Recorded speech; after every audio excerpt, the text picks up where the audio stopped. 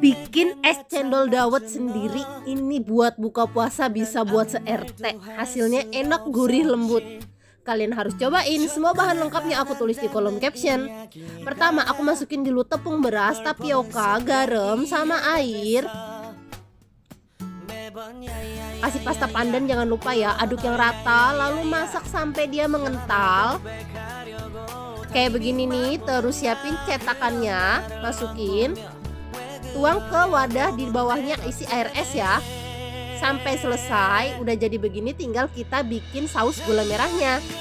Gula merah air daun pandan masak sampai mendidih. Aku masaknya pakai kompor induksi idealef. Dia tuh enak banget praktis tinggal colok aja. Nggak perlu takut pantat panci hitam dan nggak boros listrik. Pakai cookwarenya juga dari idealef. Dia anti lengket loh. Terus kita sajiin deh yuk bikin